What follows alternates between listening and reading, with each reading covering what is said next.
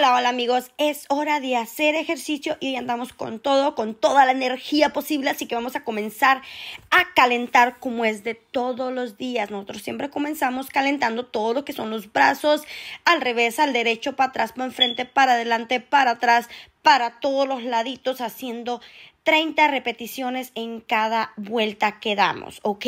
Eso es muy importante para calentar, especialmente que el día de hoy nos toca trabajar lo que es espalda y los hombros. Y por supuesto hice un poco de abdominales al final, porque pues los abdominales yo las meto like tres veces por semana.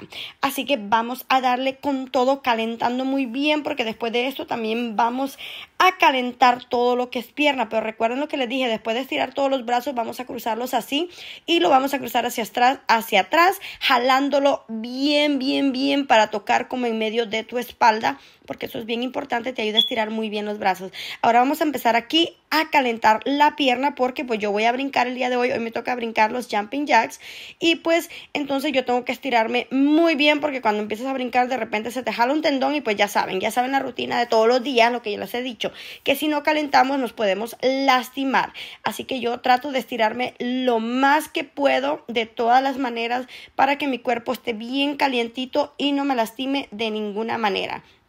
Aquí andamos tratando de tapar los gorditos porque pues todavía tenemos, ¿verdad? Pero pues no importa, los vamos a dejar ir un día. Vean la abertura, cómo caliento yo, lo hago hacia enfrente. Si pueden ver mis pies y los abro y vuelvo a agacharme. Vean, enfrente y vuelvo a abrirlos. Vean, este ejercicio es muy bueno para tu entrepierna y para toda tu pierna para calentarla.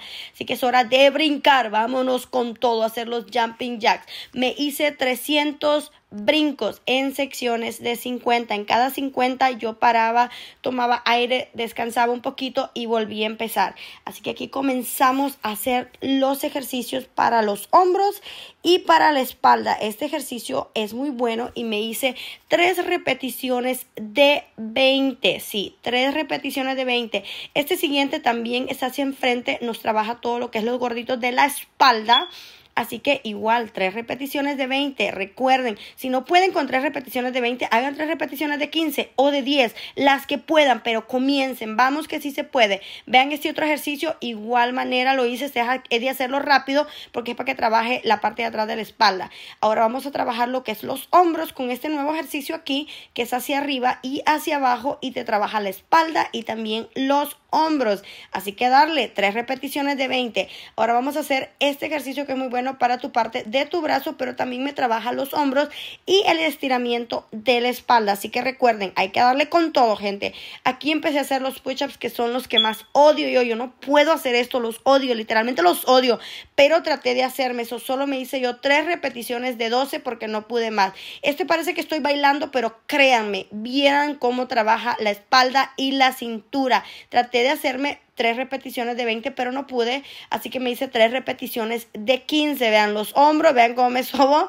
Y este también para girar porque te trabaja la espalda y la cintura de la misma manera. Tres repeticiones de 20. Ahora comencé con este que es como hacer una de las pesas grandotas, pero pues yo uso dos pesas pequeñas porque no tengo experiencia todavía. Y pues hice tres repeticiones de 20 igual, igualmente esta de los hombros, que es un poco fácil, pero créanme lo que cuando haces muchas repeticiones también te duele. Así que a darle con todo. Y pues para terminar, yo hice unas abdominales con pesas, señores, así como lo escuchan.